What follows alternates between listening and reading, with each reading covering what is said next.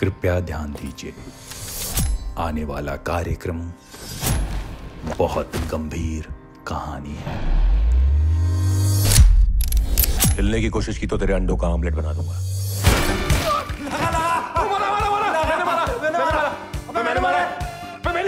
अगर फिर भी हँसी आई तो देखिए guns and Gulaabs on Netflix